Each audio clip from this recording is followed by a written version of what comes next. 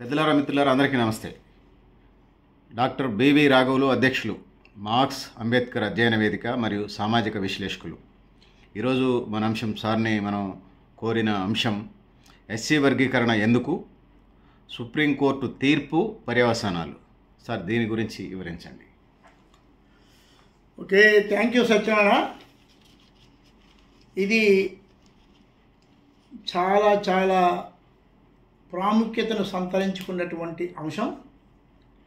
దీని మీద నాకున్నటువంటి నాలెడ్జి మేరకు సవివరంగా మాట్లాడేటువంటి ప్రయత్నం చేస్తాను. కాబట్టి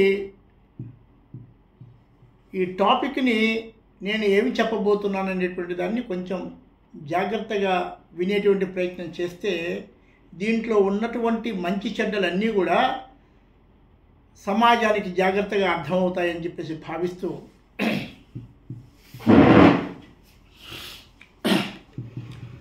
భారతదేశంలో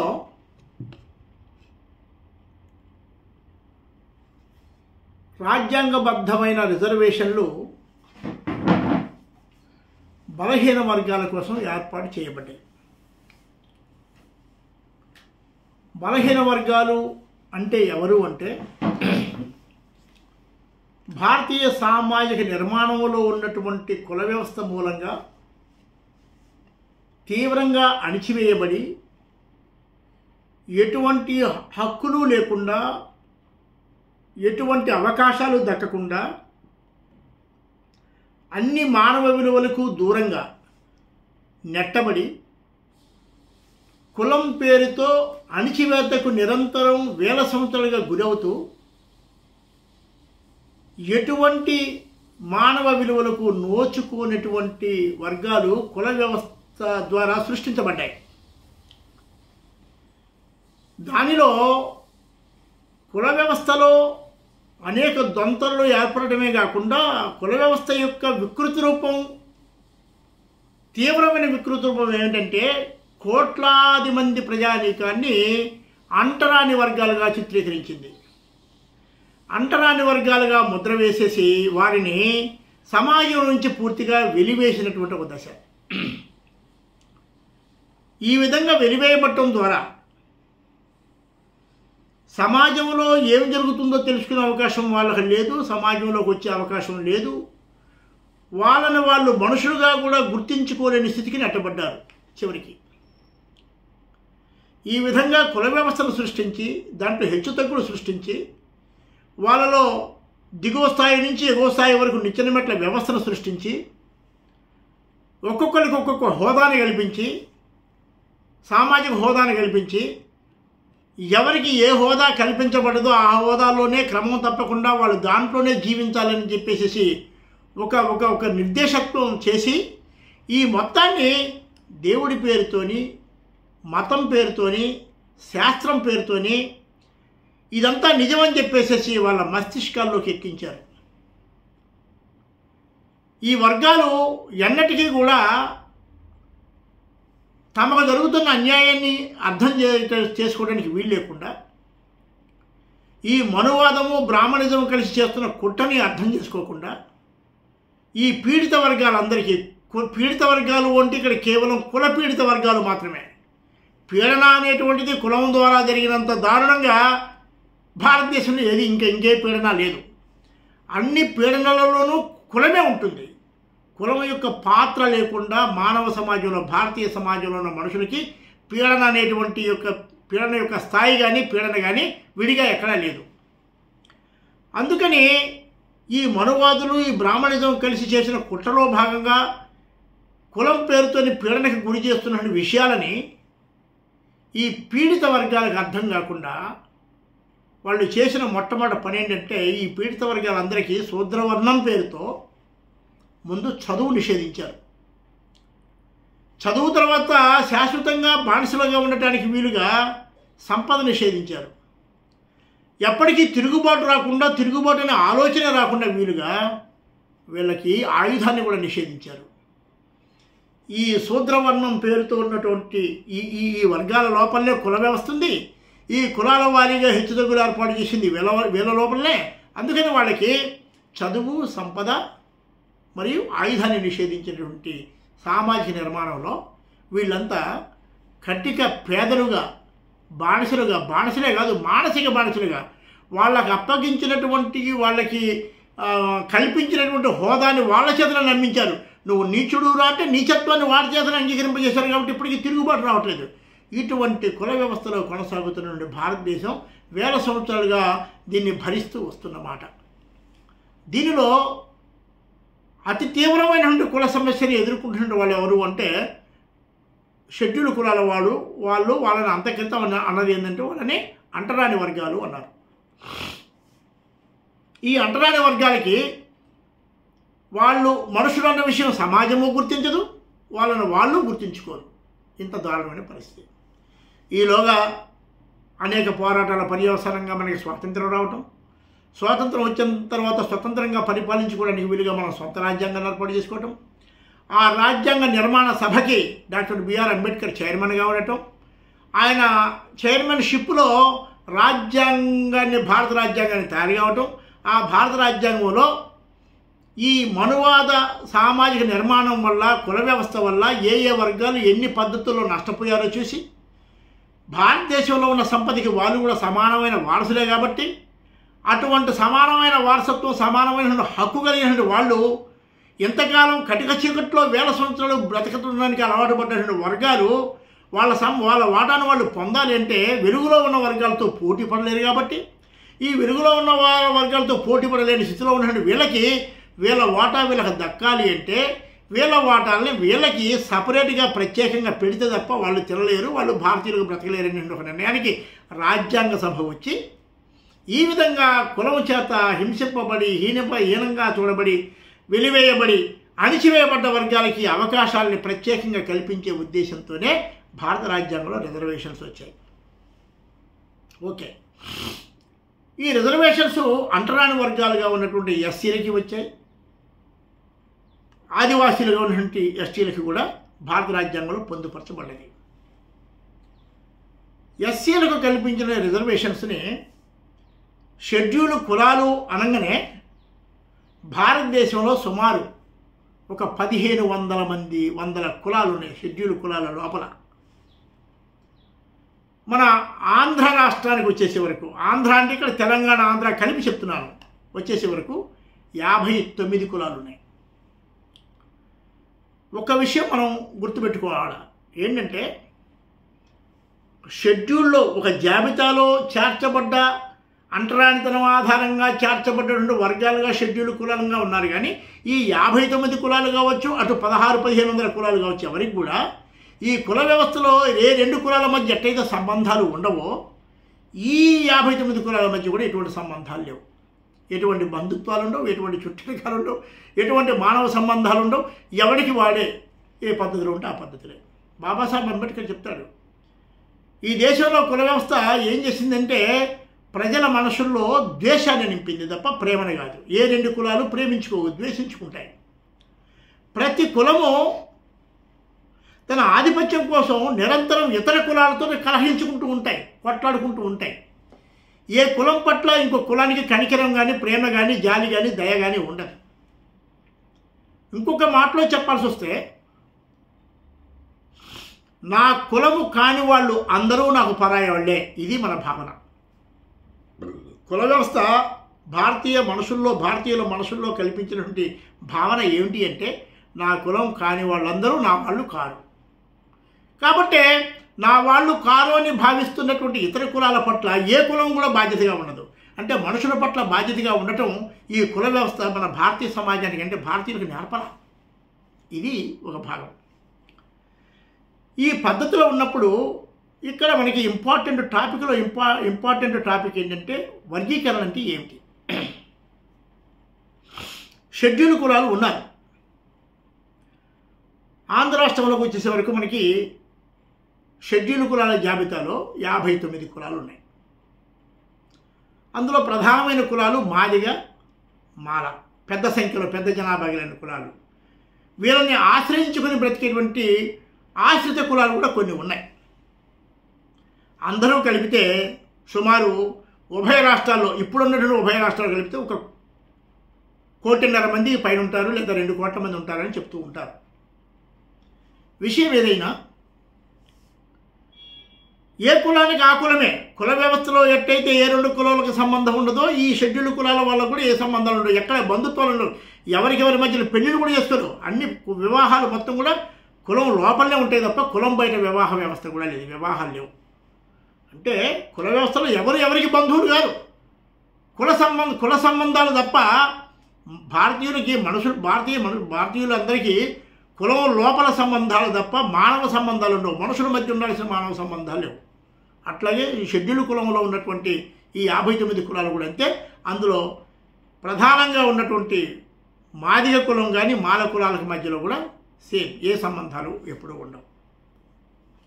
అయితే రాజ్యాంగంలో షెడ్యూల్ కులాల వారికి ఒక పదిహేను శాతం రిజర్వేషన్ ఇవ్వటం జరిగింది. ఈ పదిహేను శాతం రిజర్వేషన్ని ఆంధ్ర రాష్ట్రంలో ఉన్నటువంటి యాభై తొమ్మిది కులాలు అనుభవించవచ్చు కానీ ఏం జరిగింది? పదిహేను శాతం రిజర్వేషన్ ఉంటే ఈ పదిహేను శాతం రిజర్వేషన్ని ఏ కులానికి ఆ కులమే విడివిడిగా ఉండేటువంటి కులాలు కాబట్టి ఎవరి బలవంతులైతే వాళ్ళు దాన్ని ఎక్కువ అనుభవించడం ఆసరా ఆసరా అనుభవించడం అలవాటు చేసుకున్నారు. దీనిలో తేలింది ఏమిటి అంటే మాదిగలు మాలలు పెద్ద కులాలుగా పెద్ద సంఖ్య కలిగిన కులాలుగా ఉన్నటువంటి దాంట్లో ఈ మాల కులస్తులు అనేటువంటి వాళ్ళు పదిహేడు శాతం రిజర్వేషన్లో సింహభాగాన్ని వాళ్ళు తింటూ మిగిలిపోయి ఉన్నటువంటి ఐదు శాతము ఆరు శాతం ఉన్నటువంటి దాన్ని మొత్తాన్ని మాదిగలతో కలుపుకొని యాభై ఎనిమిది కులాలు కలిసి తినాలి తినాలనేటువంటి ఒక లెక్క వచ్చేసేసింది. దాంట్లో ఈ రిజర్వేషన్ ఫలితాలు అందరికీ సమానంగా అందుబాటులోకి రావట్లేదు. ఇందులో ఎవడు బలవంతుడైతే వాడు తింటున్నాడు బలం లేనటువంటి వాడు వెనకబడిపోతున్నాడు ఇక్కడ కొందరు ప్రధానంగా మాలలు బలవంతులుగా ఉండటానికి మాదిగలు కొంత బలహీనతగా ఉండటానికి కూడా కారణాలు ఉన్నాయి. ఏమిటా కారణాలు? మాదిగలకి ఒక కులవృత్తి ఉంది. ఆ కులవృత్తి ఏంటి అంటే చెప్పులు కుట్టడం ఈ చెప్పులు కుట్టే వృత్తి ద్వారా అంటే చచ్చిన గొడ్లను తీసుకొచ్చుకోవడం వాటిని ఒలిచి ఆ తోలుతో ఆ చర్మంతో నానా రకాలు ఏదో చేసేసి దాన్ని చర్మంగా మంచి చెప్పులు కుట్టే చర్మంగా తయారు చేసేసి చెప్పులు కుట్టడం వ్యవసాయానికి అవసరమైన పనిముట్లన్నీ తయారు చేయటం లెదర్కి సంబంధించిన ఐటమ్స్ ఏవైతే ఉంటాయో వాటిని మాదిగలు తయారు చేయడం మొదలుపెట్టారు. మాదిగలు తయారు చేస్తున్నారు. ఈ చెప్పులు కుట్టడం ద్వారా ఏమైంది మాదిగలకి? వ్యవసాయ పనిముట్లు చెప్పులు కుట్టే కార్యక్రమం చేసేసి ఊరిలో ఉన్నటువంటి ఆశావులకి రైతులకి కొంతమందికి వారికి అవసరమైన చెప్పులను సరఫరా చేయటం వ్యవసాయ పనిముట్లు సరఫరా చేసుకుంటూ పోతుంటే వాళ్ళు వాళ్ళ పొలాలలో పండినటువంటి ధాన్యాన్ని కల్లాల కాలంలో మేర రూపంలో సంవత్సరానికి ఇంతని పెడుతూ ఉంటారు.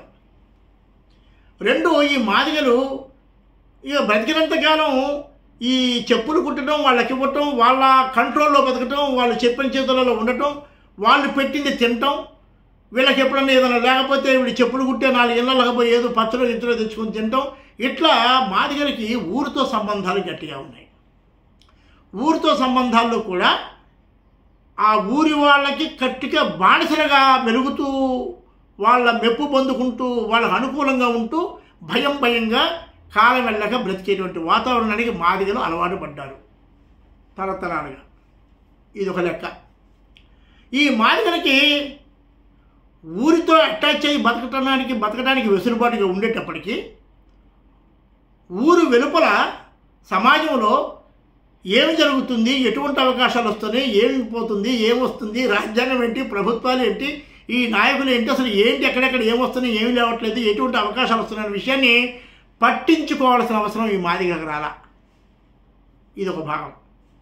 కాబట్టి వీళ్ళు ఆటోమేటిక్గా ఊరికి అటాచ్ అయిపోయారు. ప్రతి చోట ఇదే. ఇక ఇంకొక ప్రక్కకు వస్తే మాలలు. కారణాలు నేను ఇప్పుడు విశ్లేషించలేను కానీ ప్రాథమికంగా ప్రధానంగా చూసేస్తే గుర్తించదగిన పద్ధతిలో మాలలకి ఎటువంటి కులవృత్తి లేదు. మాదిగలని చెప్పంగానే చెప్పులు. కానీ మాలలు చెప్పంగానే ఇది పలానా వృత్తి వాళ్ళదని చెప్పడానికి లేదు.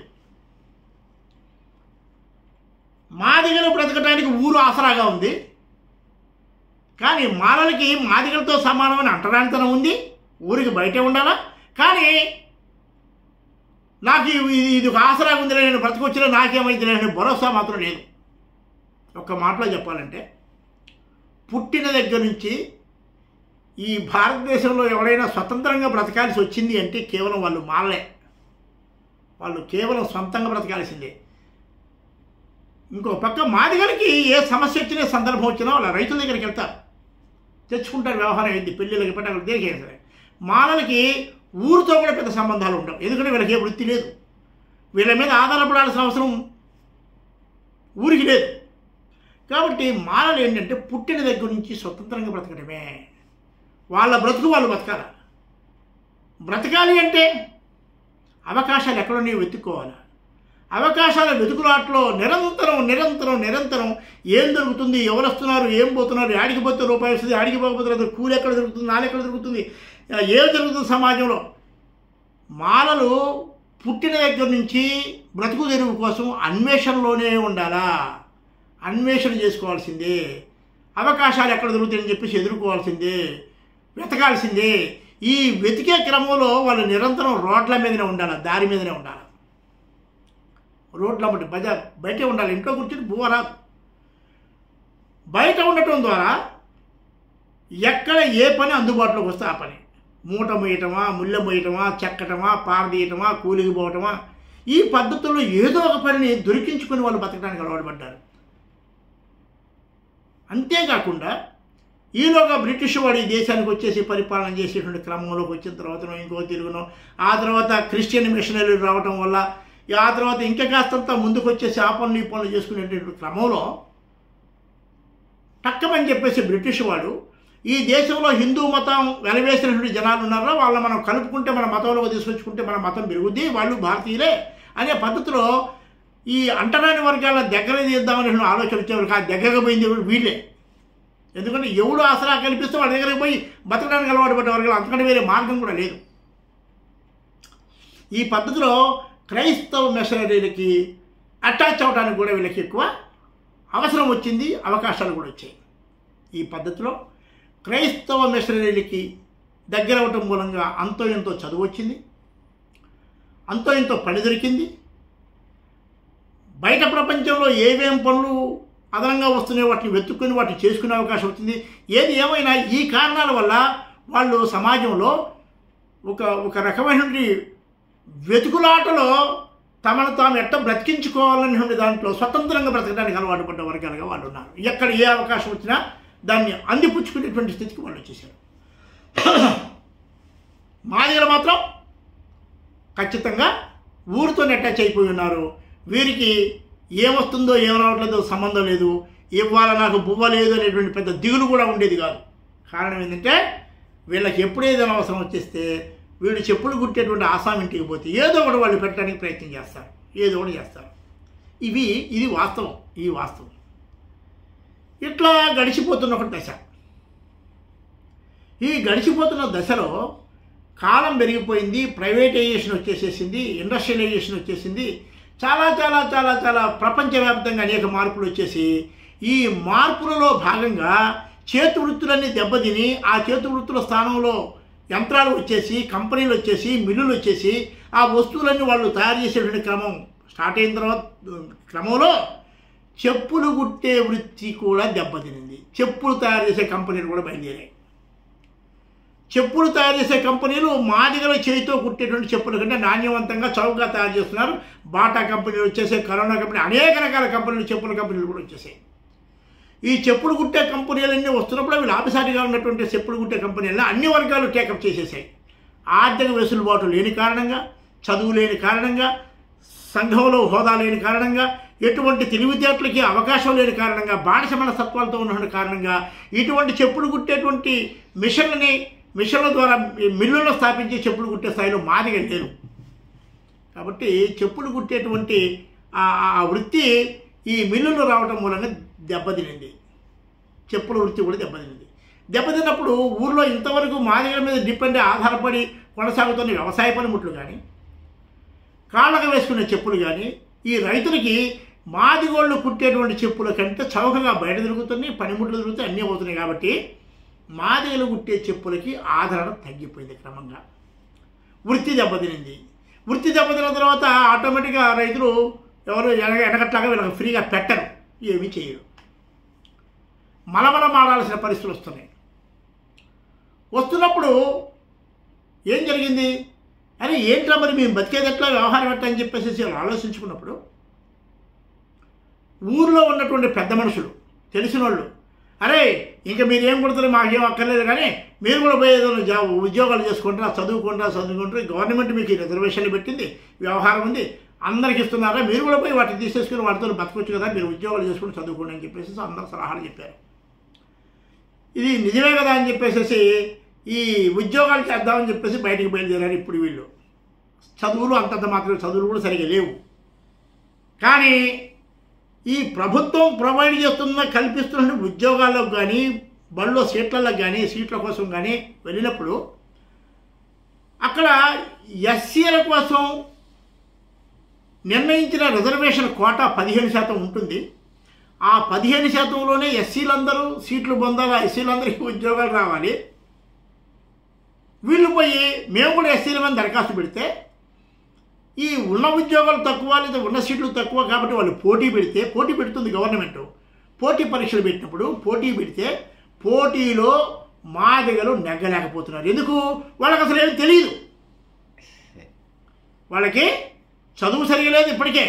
అసలు ఏ మెలకులు తెలియదు వ్యవహారం తెలియదు సంగతి తెలియదు కానీ బ్రతుకు తెరువు కోసం బిగినింగ్ నుంచి ఎంతో చాకచక్యంగా ముందుకొచ్చి అన్ని విషయాలు తెలుసుకుంటూ చదువుకుంటూ ముందుకు పోతున్నటువంటి మానవ వర్గాలు వచ్చిన ప్రతి అవకాశాన్ని ఈజీగా క్యాప్చర్ చేసేటువంటి ప్రయత్నం చేస్తున్నాయి. ఒక్క మాటలో చెప్పాలంటే అందరికీ అర్థమయ్యేలాగా చెప్పాలంటే నేను ఒక ఉదాహరణ చెప్తాను ఏంటంటే ఉద్యోగాలన్నీ ఒక కిలోమీటర్ దూరంలో కుప్పబోసిందట గవర్నమెంట్. ఒక ఒక అర కిలోమీటర్ దూరంలో కుప్పబోసింది ఉద్యోగాలన్నీ. పెద్ద ఉద్యోగం చిన్న ఉద్యోగం అది ఇది అని పెద్ద కుప్పబోసింది. కుప్పపోసి ఇక్కడికి వచ్చేసి ఒక దగ్గర గట్టు పెట్టి కిలోమీటర్ యువతలో అర కిలోమీటర్ యువతలో పెట్టి అక్కడ ఉద్యోగాలు పెట్టినవారు అబ్బాయిలు మీరంతా ఉద్యోగాల కోసం ఎంతమంది వచ్చారు అంతమంది ఇక్కడ ఉన్నారు కదా మీలో ఎవడు ముందు పోయితే వాడు ముందు ఉద్యోగాలు తీసేసుకోండి. మీ అందరికీ పరుగు పందెం పరుగు పందెం పెడుతున్నాడు. ఎవరు పోతే వాళ్ళకే ఉద్యోగాలు. ఎవరు ముందు పోతే వాళ్ళకి అక్కడ ఉన్న ఆఫీసులో ఉద్యోగం ఇస్తాడు అని చెప్పేసి చెప్పారు. చెప్పినప్పుడు రోడ్డు మీద అందరూ ఉన్నారు. ఈ మాలలు మాదిగలు అందరూ ఉన్నారు. ఈ యాభై తొమ్మిది కులాల వాళ్ళు. బెల్లు కొట్టగానే పరుగులు అంకించుకున్నారు. బ్రతుకు తెరువు కోసం రోడ్డు మీద నడకే కాదు పరుగు కూడా ప్రాక్టీస్ అయిపోయింది ఆల్రెడీ మాలలకి. బ్రతుకు తెరువు కాబట్టి కావాలి కాబట్టి. ఇప్పుడు మాదిగలు ఇప్పుడిప్పుడే రోడ్డు ఇచ్చారు వీడికి సరిగ్గా నడవటమే రావట్లే. తప్పడ తప్పడప్పుడు అడుగులు వేసుకుని పోయేటప్పుడు వీడు పోయేటప్పటికి అక్కడ మొత్తం వేరుకొని తింటున్నాడు వీడు ముందు పోయిన వాళ్ళు పోయేటప్పటికి మొక్క చెక్కో బొక్కో ఏదైనా మిగిలితే మిగులుతుంది లేకపోతే లేదు. ఎప్పుడు ఇదే జరుగుతుంది? ఎప్పుడు ఇంతే ఎప్పుడు ఇంతే అన్నింట్లో. దీంతోనే మాదిగల్లో ఒక ఆలోచన వచ్చింది. కాలం గడుస్తున్న కొద్దీ మరి ఎట్ట నెగ్గాలా ఏం చేయాలా? మరి మనకు అవకాశాలు రావడం ఎట్లా అనే సంగతి ఆలోచించుకున్నప్పుడు ఖచ్చితంగా మన అవకాశాలు మనకి ఇట్లతో వీళ్ళతో అంత పోటీ అందరితో ఉమ్మడిగా పోటీ పెడితే మనకి ఎప్పటికీ రాదు. మరి మన జనసంఖ్య ఎక్కువే ఉంది. మరి మన మాట మనకు రావట్లేదు మరి మనం బతికేది ఎట్లా చేయాలని చెప్పేసి ఆ ఆ స్థితిని తీవ్ర తీవ్ర రూపం దాల్చే క్రమంలో మాదిగల్లో ఉన్నటువంటి పెద్ద మనుషులంతా అక్కడక్కడ కూర్చున్నారు. కూర్చుని ఏంట్రా మనకి ఎందుకు ఉద్యోగాలు రావట్లేదు? ఎందుకు ఉద్యోగాలు రావట్లేదు? పదిహేను శాతం ఉంది కదా మనకి ఎందుకు రావట్లేదు? ఎందుకు రావట్లేదు అంటే పోటీలో మనం నెగ్గలేకపోతున్నాం. ఎవరితో నెగ్గలేకపోతున్నాం? మన మాలలతో నెగ్గలేకపోతున్నాం. మరి మాలలతో నెగ్గడానికి మనం ఏం చేయాలా? మనం చాలా బాగా చేయాలి. బాగా చేయాలంటే నువ్వు ఇప్పుడు మొదలు పెడుతున్నావు. వాడు మొదలుపెట్టి వందేళ్ళు అయింది. నువ్వు ఇప్పుడు మొదలు పెడుతున్నావు. మరి నువ్వు వాడు సమానం కావాలని ఇప్పుడెప్పుడు ఎప్పట్లో సాధ్యం కాదు. మరి ఎట్లా? మరి బ్రతకాలి కదా? ఈ ఆలోచనలో నుంచి ఎట్టి పరిస్థితుల్లో మాలలతో పోటీ పడే స్థితిలో మేము లేవు కాబట్టి మేము కూడా పదిహేను శాతంలో మాకు ఒక వాటా ఉంది కాబట్టి ఆ వాటాని మేము పొందాలి ఆ వాటాను పొందితే మేము బ్రతుకుతాం పొందలేకపోతే బ్రతకం. కాబట్టి ఆ పదిహేను శాతంలో మా జనాభాకి న్యాయంగా ఎంత వస్తే అంతా మీరు కొంచెం పక్కన పెట్టండి. వాళ్ళని తీసేయమని చెప్పట్లా. మాకు ఎంత వస్తే అంత పక్కన పెట్టండి. పక్కగా పెట్టేసేస్తే మాది మేము తీసుకుంటాం. అదేమో ఎక్కువ కూడా అక్కర్లేదు. మా జనాభా ఎంత ఉంది అంతే. వాళ్ళకి ఎంత ఉంది అంత. వాళ్ళు ఎంతకాలం తిన్నారు కాబట్టి వాళ్ళకి వద్దని కూడా మేము అనట్లా. వాళ్ళది వాళ్ళకి పక్కన పెట్టండి. ఇక్కడ ఈ పద్ధతిలో ఉద్యోగ అవకాశాల్లో కానీ ఉపాధి అవకాశాల్లో కానీ చదువులలో చదువుకునే సీట్లలో కానీ ఇతరత్ర అనేక అవకాశాలలో షెడ్యూల్ కులాల్లో ఉన్నటువంటి పదిహేను శాతం రిజర్వేషన్ని ఉమ్మడిగా కలిసి పోటీలో వాళ్ళతో అందరూ కలిసి పోటీపడి తీసుకునే పరిస్థితిలో కొంతమంది లేని కారణంగా ప్రత్యేకించి మాలలతో పోటీపడి తీసుకునేటువంటి పొందే అవకాశం మా దగ్గర లేదు కారణంగా వాళ్ళు అనివార్యంగా మా వాటా మాకు పక్కన పెట్టండి. మా వాటా మాకు పక్కకు పెడితే తప్ప మేము బ్రతకలేము అనేటువంటి ఒక నిర్ధారణకు వచ్చేసి దీనిని మొట్టమొదట మన ఆంధ్ర రాష్ట్రంలో ఆదిజాంబవ అరుంధతీయ సంఘం పేరుతోని పెద్దలు స్థాపించి ఆ స్థాపించిన సంఘం ద్వారా అప్పట్లో కో- అప్పట్లో కోట్ల విజయభాస్కర్ రెడ్డి గారు ఉండేవాడు ముఖ్యమంత్రిగా. ఆయనతో నిజాం కాలేజీ గ్రౌండ్స్లో ఒక పెద్ద మీటింగ్ పెట్టి సదాలక్ష్మి గారు వెంకటస్వామి గారు వీళ్ళంతా ఒక పెద్ద డిమాండ్ తీసుకొచ్చేశారు. జగన్నాథం గారు మంద జగన్నాథం గారు. పెద్ద డిమాండ్ పెట్టారు. డిమాండ్ పెట్టి దాని మీద సానుకూలంగా ఆలోచించిన ప్రయత్నం ప్రభుత్వం ఉంటుందని ఒక ఒక మాటలో చెప్పాల్సి వస్తే మాదిగలకి అన్యాయం జరుగుతుంది మాదిగలు నెగలేకపోతున్నారు అన్నటువంటి సానుభూతి సమాజం మొత్తానికి ఉంది. ఎందుకు? ఎందుకంటే మాదిగల సమాజానికి అటాచ్ అయి ఉన్నవాళ్ళు మాదిగల సమాజానికి అనుకూలంగా ఉంటారు. మాదిగలు సమాజం మీద తిరుగుబాటు చేయలేరు. దేని మీద వ్యవహారం కానియలేరు. వీళ్ళకి ఆత్మగౌరవ స్పృహ తక్కువ. వీళ్ళు అంతో ఎంతో ఊళ్ళల్లో అందరికీ పనులు చేసి పెట్టి చెప్పులు కుట్టి ఆ పని ఈ పని చేసినటువంటి సానుభూతి ఒకటి ఉంది అక్కడ. మాలలకేమో సమాజంతో టచ్ లేదు. ఈ ఎవరితో పెద్ద పని లేదు. అది కాకుండా ఇంకొక ముఖ్య విషయం ఏంటంటే మాలలో స్వతంత్రంగా బ్రతకడానికి అలవాటు పడ్డటువంటి వాళ్ళకి వాళ్ళలో క్రైస్తవ మిషనరీలు కూడా పట్టుకొని చదవటం చదువుకోవడం మనం వచ్చినటువంటి ఈ ఈ స్థితిలో స్వతంత్రంగా బ్రతకడానికి అలవాటు పడ్డటువంటి ఈ స్థితి ద్వారా వాళ్ళకి ఆత్మగౌరవ స్పృహ పెరిగింది. సెల్ఫ్ రెస్పెక్ట్ వచ్చింది. ఈ సెల్ఫ్ రెస్పెక్ట్ కారణంగా అంటరాని వర్గాలుగా ఈసలింపులకు లోనవుతూ ఉన్నటువంటి సమాజంలో ఆయా వర్గాలు అంటరాని వాళ్ళని ఏ మెరుగైన పరిస్థితిలో చూడటానికి ఇష్టపడరో ఆ మెరుగైన పరిస్థితులలో మాల మాలలు ఉండటం మొదలుపెట్టారు. అప్పుడు ఏమైపోయింది? మాలల పట్ల ఆటోమేటిక్గా సమాజానికి ఒక రకమైనటువంటి దాన్ని ఏమంటారు? ఏహే భావం. వాడు వాడు పొగరమోతురా వాళ్ళు వాళ్ళు నీచులు వాళ్ళు మా మామూలుగా వాళ్ళకి అసలు పెద్ద చిన్న తేడా లేదురా అని చెప్పేసి పద్ధతిలో మాలల పట్ల ఒక రకమైనటువంటి ఆక్రోషం ఒక రకమైనటువంటి జలసి అసూయ ఇవన్నీ ఊర్లో డెవలప్ అయినాయి.